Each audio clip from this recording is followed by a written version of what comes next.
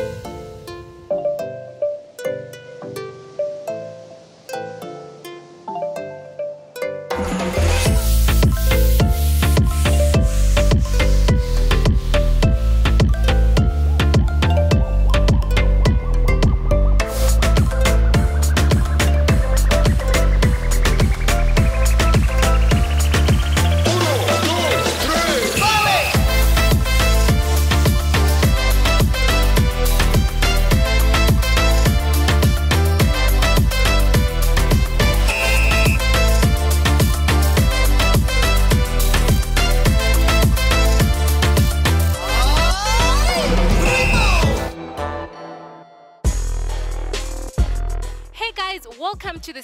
of the month. We continue to delve deeper into our theme of the month, which is strengthening our stakes. And as this month comes to a close, I would like to encourage you, wherever you are, to focus on building your capacity and availing yourself to be used for the glory of the Lord. My name is Masi Sirali, and I would like to invite you, wherever you are, get up on your feet, call your neighbors, call your family, call your friends, and let's have some good time in the presence of the Lord. This is the day that the Lord has made, and we will rejoice and be glad in it. This moment, we invite you as we worship the Lord, as we exalt the name of Jesus. How wherever you are, come on, Father, we lift your name high. Lord, we exalt your name. Even in this moment, as we start, we are going to say that, Father, let your name be lifted high above every other name. Come on, open up your mouth and give God's words of worship, for He is worthy, for He is highly exalted. Father, this moment, this moment that you have made, that we will be in your presence, we declare that let your name be lifted high. Let your name be lifted high above all the other names. We open our hearts to you, O God, say, Father, let your name be lifted high. And let every other name fade away, Jesus. Let every other name fade away. Yes, God.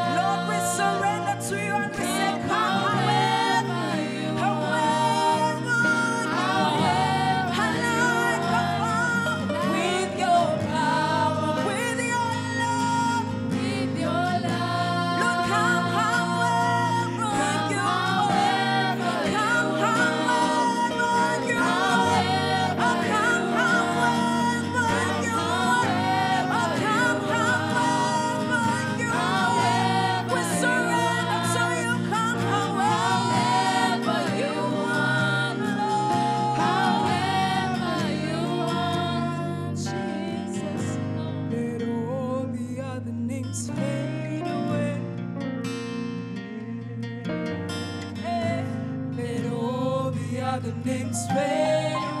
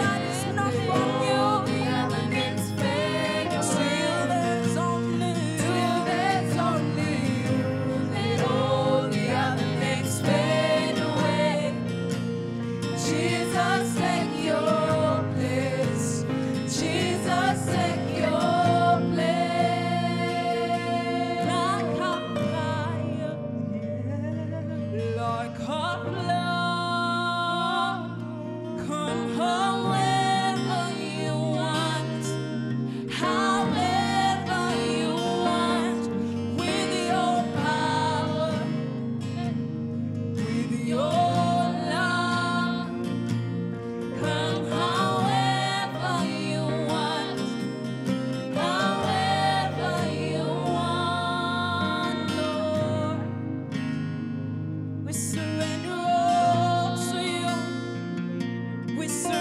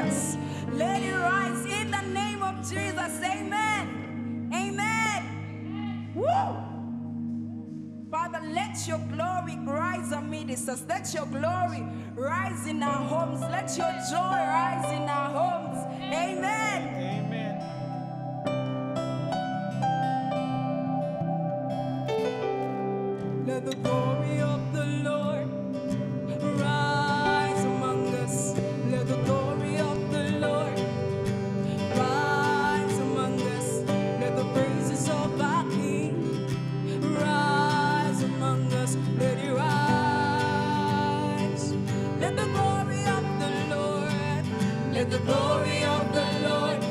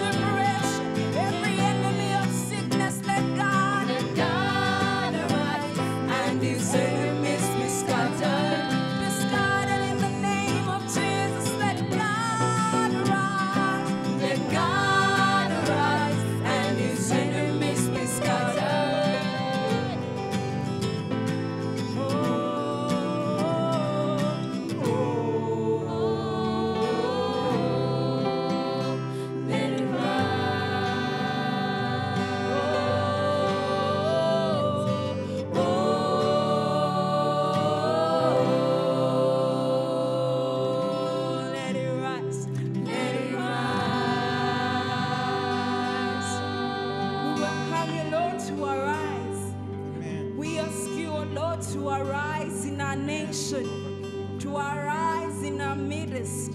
Father, let your peace, let your joy arise in us, oh God. Come on, don't be silent. This is the moment to speak. Speak and ask the Lord and let your glory rise in my life. As youth, let the glory rise within us, Father.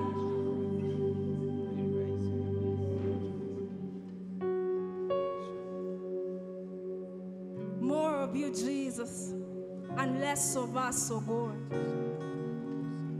More of you, Lord, and less of what we want. More of you, Jesus, and less of what we desire. More of your presence, oh God. More of your spirit is what we pray for this morning. Father, we surrender to you. Just go ahead and tell the Lord, I surrender to you, Lord. I ask for more of your spirit, more of your anointing. Do not be silent.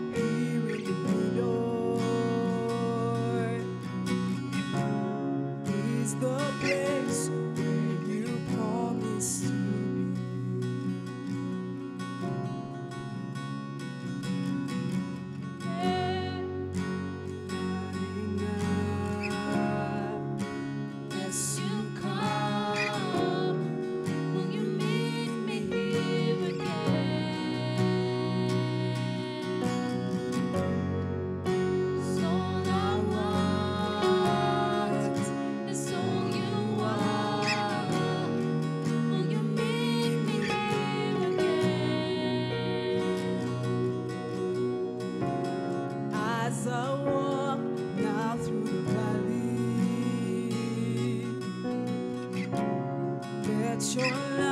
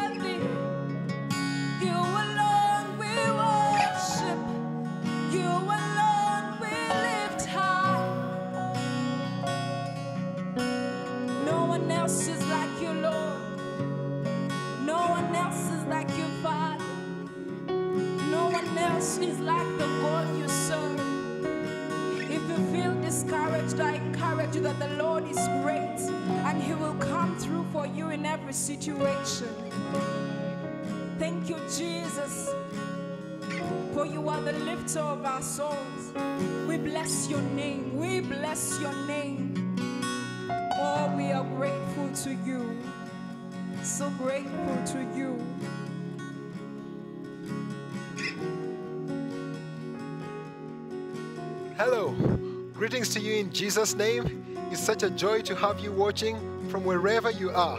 My name is Finney, and I'll be sharing with you the word today.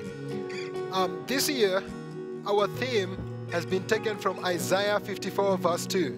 It says, Enlarge the place of your tent, stretch out the curtains of your dwellings, spare not, lengthen your cords, and strengthen your stakes and we've been focusing on three things enlarge, lengthen, and strengthen. Today, my focus is on strengthen. So join me in this Zamar service as we get along on strengthening our stacks. Particularly, my sermon title is Strengthening Our Stacks by Grace. Or you could call this Strengthened by Grace. And I'll take my reading from 2 Timothy chapter 4, verse 7. 2 Timothy chapter 4 verse 7. It reads, I have fought a good fight. I have finished the race. I have kept the faith. Paul says, I have fought a good fight. To finish the race, Paul addresses two things the fight and the faith, calling our attention to a previous victory and an ongoing faith. The fight and the faith. In being strengthened by grace, I will address two things that were priority to Paul. You know, after Paul saying this, after Paul saying, I have fought the good fight, I have finished the race, and I have kept the faith. Two verses later, in verse 7, he says, For Demas, because he loved this world, he deserted me. It's interesting that he gives us his own example as one who has finished the race. Then he also gives us an example of a colleague who didn't finish the race. Paul is telling us we all have a race to finish. And we shouldn't be blind to the reality that some have actually not finished. Take heed that you finish the race. Let me tell you something. The root of all human conflict is found in first my inability to see another person as being created in the image of God. I'll say that again. The root of all human conflict is found first in my inability to see another person as being created in the image of God. And secondly, it is found in my inability to treat myself as a unique individual.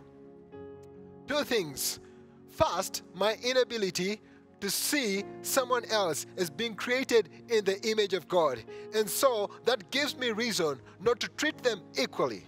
It causes me to dehumanize my neighbor instead of treating them with the same dignity I desire for myself.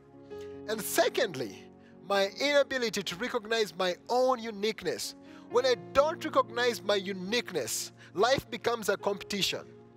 When I don't recognize my uniqueness, life becomes a competition. And I can suffer from what many today call the victim mentality. God has created us in a very general sense, equal in his image, and in a very particular sense, as unique individuals with a particular gift.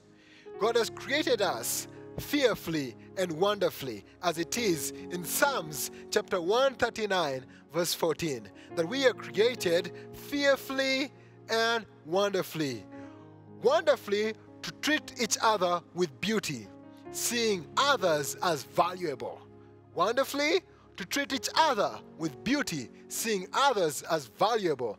Then fearfully, to treat myself with beauty as a unique individual with a specific purpose.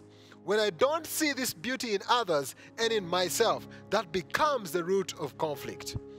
While the first one has a lot to do with the second party, when I don't look at my neighbor as someone of value.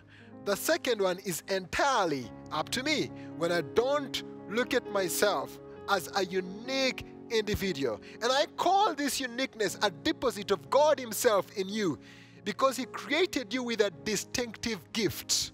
This gift is a specific gift to fulfill a calling. It is a gift, a tool for your ministry. So, Paul, in completing his ministry, is reminding us that we have a specific calling, a ministry to accomplish. We can't afford to live like we don't have a responsibility that all we can do is to love this world. No, we can't afford to do that. The question is what was Paul's secret? How did he accomplish this task? The secret of Paul is what I want to draw our attention to. You see, having looked at the two examples, Paul and Demas. Let's back up a little bit and look at these two people. These two people were colleagues. Paul and Demas were co workers. In Philemon chapter 1, verse 24, we read about them being co workers. So, what happened?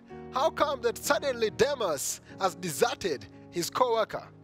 What happened? How come Paul finished, but Demas didn't. I need to remind you that no one wakes up loving God tomorrow and hating him tomorrow and hating him the next day. Let me say that again. no one wakes up loving God today and hating Him tomorrow. It doesn't happen that way. It's a progressive downhill. It's a progression.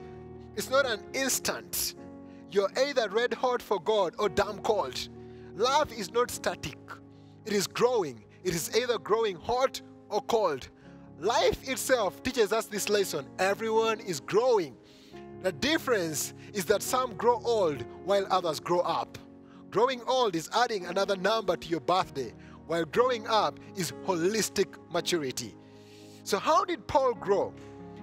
How did Paul grow to treasure finishing this race while his colleague deserted this race? Remember, we are talking about being strengthened by grace. And I will take a scripture that will help us see how Paul finished this race. First, Paul grew to treasure his calling more than life itself. And I'll say that again. Paul grew to treasure his calling more than life itself. In Acts chapter 20, verse 24, Paul says, But I do not count my life of any value, nor as precious to myself, if only I may finish my course and the ministry that I have received from the Lord. Acts chapter 20, verse 24. Let me read it again. But I do not count my life of any value, nor as precious to myself, if only I may finish my course and the ministry that I've received from the Lord Jesus. Paul is saying something very profound here. What Paul is saying is that fulfilling your ministry is more important than staying alive. Fulfilling your ministry is more important than staying alive. And this conviction is what makes the lives of those radically devoted to a specific calling very inspiring for us to watch. When someone is devoted to their calling more than they're even about just being alive, their lives are so inspiring for us to watch. But how is this possible? How is someone able to treasure a calling more than life itself? How is this possible? This is possible when I begin to recognize that the one who calls is the highest treasure I can ever have. So Paul didn't just treasure the calling because it was some nice thing.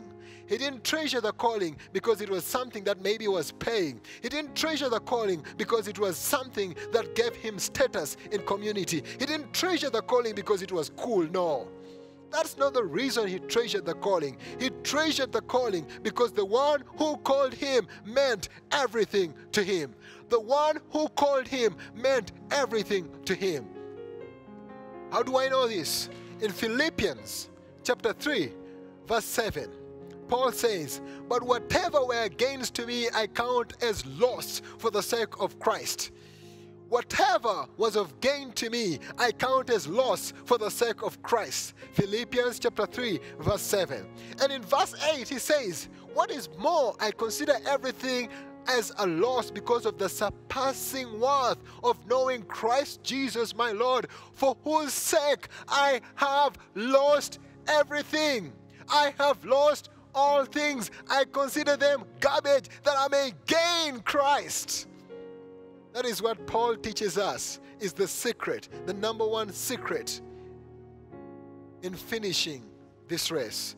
Everything else, everything else becomes secondary compared to treasuring the one who has called us to this race. And that's very important because you know, let me tell you something. When I give you a phone call and you don't have my number, before you can be interested in what I'm saying, you want to know who is this who was called? That is what Paul is telling us that the one who calls must be a treasure far above anything else if we are to finish this calling. Because the one who calls will uphold you. Now, all of us can survive abundant poverty. The question I want to ask us is that when all these things start coming, all these things that Paul considers as loss, when they all start coming our way and suddenly we have abundant wealth, will all our gains be considered loss compared to knowing Christ? And I'm reminded of Matthew chapter 6, verse 33, where the Bible tells me, Seek first the kingdom of God seek first the kingdom of God.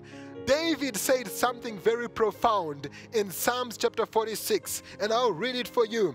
In Psalms chapter 46, verse 1, David said, The Lord God is my ever present help in times of need. I want to remind you that if you need to know and check if God is first in your life, God is present. Whom do you call to when you are in trouble? God is present. Whom do you call to when you are in trouble? David is telling us, The Lord is my ever present help in times of need. And so, when we think about finishing this race and being strengthened by grace, it is, it is something that tells us we must start with God being first in our lives. God must be first in your finances. God must be first in your interests. God must be full all over your speech. And God is present in your troubles. The second thing that we realize that Paul tells us was very helpful in him finishing strong. Remember, I said I will share with you two things that were priority in the life of Paul. The first was that he treasured God as first, and everything else became secondary. He treasured the one who called first. Then the calling became a light burden that the one who called carried him through. Paul was very keen to attribute every success to God's grace. In 1 Corinthians chapter 15, verse 10, by the grace of God, Paul says in 1 Corinthians chapter 15, verse 10, by the grace of God, I am what I am, and his grace towards me was not in vain. On the contrary, I worked harder than any of them. On the contrary, I worked harder than any of them. That is a very keen thing to take note of. Though it was not I, he continues, though it was not I, but the grace of God that is with me. When Paul worked harder than the rest, he didn't attribute it to anything but grace. Can you daily wake up and say, I have reached this place because of His grace? Can you daily attribute all that you are and all that you have and all of your being to the grace of God? Then we begin to realize that everything, even the strength that we have, is supplied by God alone. First Peter chapter 4, verse 11 is very keen on this. In 1 Peter chapter 4 verse 11, we are reminded that everything that we do, it is because God has supplied. God has supplied. God has supplied strength. If anyone speaks, they should do so as one who speaks the very words of God. That's what 1 Peter chapter 4 verse 11 tells us. And I continue, if anyone serves, they should serve with the strength God provides, so that in all things God may be praised through Jesus Christ. To him be the glory and power forever and ever. Amen. Now, that's a very interesting one to remind us that Paul considered God as first. We took the letter first. Now, to remind us that Paul always gave glory to God. To remind us that Paul was keen to recognize the grace of God in his life, I want to take another word. I want to take another word, and that is the very word God. The word God, G O D. I must remind us that the word God personally reminds me of three things. That one, the letter G, God must be glorified. God must be glorified. Secondly, the letter O, others matter. Others matter. Thirdly, the letter D, die to self. Die to self.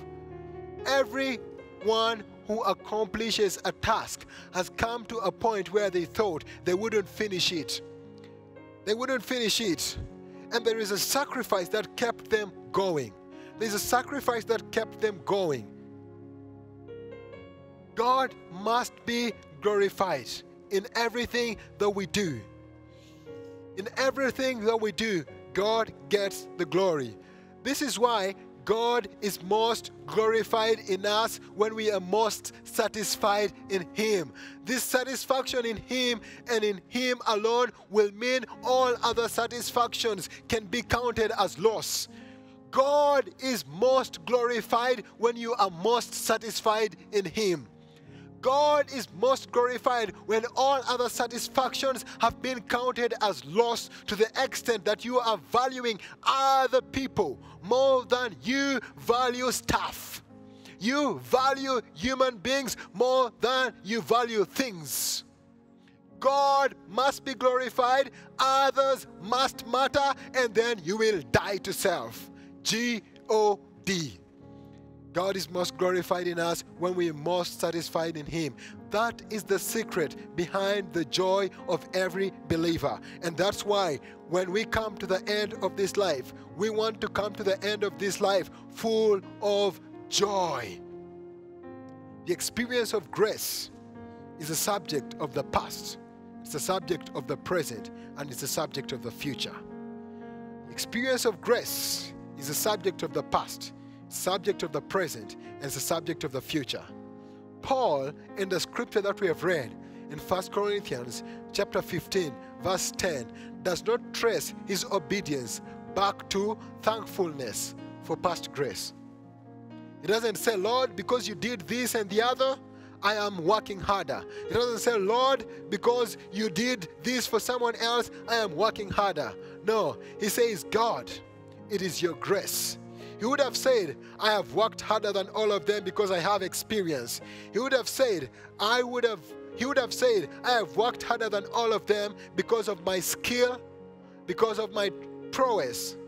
But he traces his obedience up to that moment by the grace that arrives for every moment.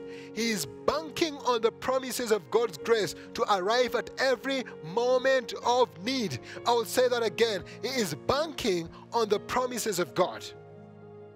And he's saying, God, you have promised this about the future. And because you've promised this about the future, I am trusting that there will be grace for it. Let me say that again. Grace is a subject of the past, it's a subject of the present, and it's a subject of the future. It's the subject of the past because of the testimonies that God has brought you this far. It's the subject of the present because of the reality that without God you wouldn't come this far. It's the subject of the future because God's promises are upheld by Him. He, so Paul is banking on the promises of God's grace to arrive at every moment whenever he will need grace. So Paul says, God's work in me, God is working in me to will and to do according to his God good pleasure. So Paul knows that grace has carried him. He knows grace is carrying him and he knows that grace will carry him. This is what makes us face the future with a kind of endurance that even if it takes the shedding of our own blood, even if it takes our sweat, we will finish the race because God's grace is sufficient. Even if it takes losing our lives, we will finish the race because God's grace is sufficient. It has been sufficient and it will be sufficient. And that is the experience that our brother Stephen had. Let me give you that example. In Acts chapter 6, verse 8, it tells us, Acts chapter 6, verse 8 says, And Stephen, full of grace and power, was doing great works and signs amongst the people. If you are not strengthened by grace, your strength will fail you. One preacher I loved said this If you are a praying Christian, your faith will carry you. But if you're not a praying Christian, you will have to carry your faith, and this is not something you are designed for. And so, if grace doesn't carry you, you will need your strength to carry you. But we are reminded that even our strength will fail. Our strength will fail. I want to close by reminding ourselves of the two things that we have said. One is that Paul treasured God who called him more than anything else, and that is what made him finish the race.